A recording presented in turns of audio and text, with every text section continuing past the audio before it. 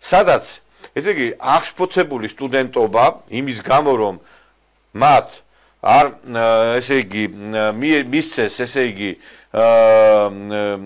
აი საცხოვრებელი ადგილები, საერთო საცხოვრებლები აქვს, კარგად იცით, უნივერსიტეტს აქვს, მაგალითად, მაღლა ბაგე მაღლივის ბაგებში არის ესეთი საცხოვრებლები და სხვაგანაც არის კიდე lize არის ასეთი საცხოვრებელი.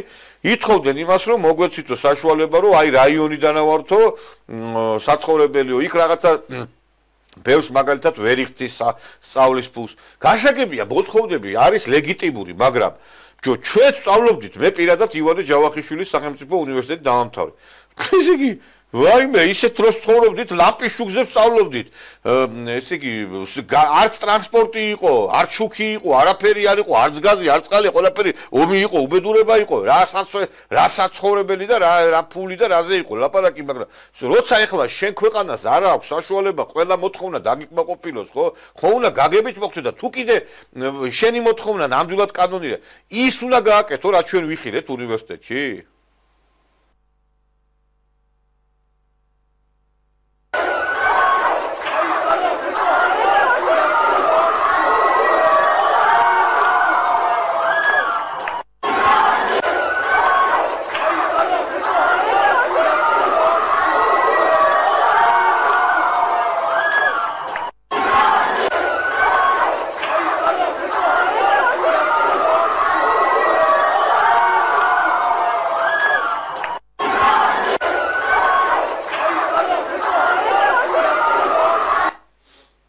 დიახ, ახლა ეს ერთ-ერთი ადამიანი, რომელიც ახლა თქვენ წარმოგიდგათ, ეს არის რექტორი ამ ფსიქოლოგიის დარგის, მე მგონი. და აი კაცი მოიყვანეს, იქ მე კიდე სხვა კადრებიც იყო. გაიყვანეს, ესე იგი, ტიროდა ხალხი. აი ესე უნდა მოგი, იქ მეღაც ვიღაცა კიდე მაღლა გადადიოდა და ცდილობდა რომ შეეხო, მე შევარდე ამ უნივერსიტეტს. ეს ეს ეს ეს ეს ადამიანები საერთოდ უნივერსიტეტის კედლებს კი არა გარიცხვას იმსახურებენ უნივერსიტეტიდან. იმის მაგრად ეხლა საერთო აღშფოთება ყოფილიყო ამ ხალხის მე. უწლოვანები კი არ არიან, კაცო უკვე ესენი არასუწლოვნები კი არ არიან, დასრული ადამიანები არიან. შეიძლება შენი ესა რა ქვია რა რა ნამუსით უნდა იყო ეხლა უნივერსიტეტში და როგორ უნდა შეხედო როგორ უნდა შეხვედი აი ეხლა ამ ადამიანის ლექციაზე როდესაც აი ესე იქცევი.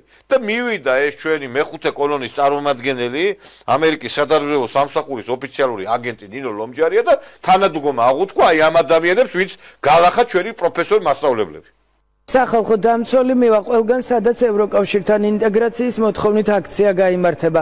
ამის შესახებ ნინო ლომჯარიამ განცხადება ცოტა ხნის წინ გააკეთა. ომბუდსმენი ამბობს, რომ ახლა საზოგადოების ორად გაყოფის დრო არ არის და ყველა უნდა მივიდეს ყველა აქციაზე, რომელიც ქვეყნის ევროინტეგრაციის საკითხზეა დაანონსებული.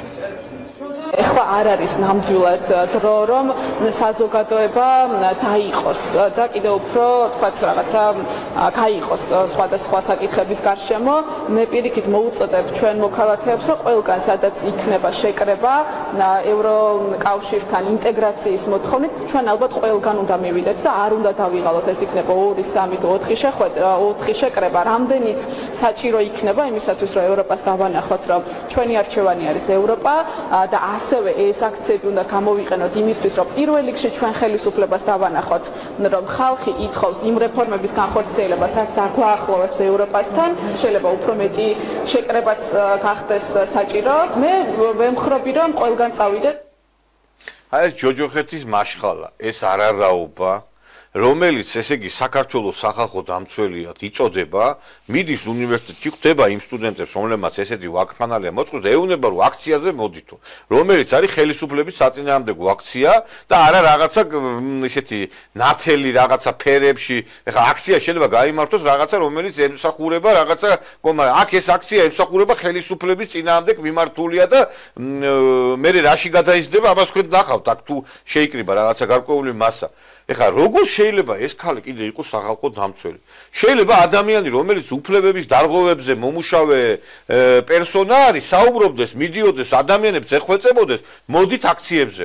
აქედან ხო ჩანს ყველაფერი, რომ აი რა განზრახულობა ამ აქციის, რა მიზანი აქვს ამ აქციას, რომელიც 20-ში უნდა გამართოს, მანამდე ეს ჩვენი ბძენი პრეზიდენტი ატარებს 16-ში აქციას. მე ვფიქრობ რომ აი ეს ადამიანი რომელიც არის ერთ-ერთი გეი პროპაგანდისტი საქართველოსში ეს ნინო ლომჯარია რომელმაც ციცოცხლე გაუმწარა მეუფე სპირიდონს და დაშალა დაანგრია საათივით აწყობილი ის სასწავლებელი რომელიც ქონდა ბავშვების კარგად მოგეხსენებათ იქ. და ბავშვები, უდედმამო ბავშვები, ზოგიერთი შეჭირვებული ბავშვი იქ სწავლობდა ნინოწმინდის პანსიონში და მივიდა და ეხლა აბა მეთი გითხარით სად არის ეს ბავშვები, რა დღეში არიან? ხო გაყარეთ იმ სასწავლებლიდან, ცივნი ავს რო არაკერებდა ის მეუფე იქა. და ეხლა ეს კალბატონი მიდის იქა უნივერსიტეტში, დადის აკითიკი დარბის რომ აქციებზე მოდის. აი გაუგონარი რაღაცეები ხდება მამაო და მე მგონი რომ ჩვენ ერთხელ და სამუდამოდ ეს შავი ჭირი, რომელიც არის სახალხო დამცველის პოზიციაზე მყოფი ადამიანები, უარმა თქვა, უნდა მორჩეს ესე იგი ამ დასავლური გრანტებით გაჯერებული პირების დანიშნვა სახალხო დამცველის პოზიციაზე, რომლებიც მხოლოდ და მხოლოდ ერთი მიზანი აქვს ქვეყნის ინამდე ბრძოლა.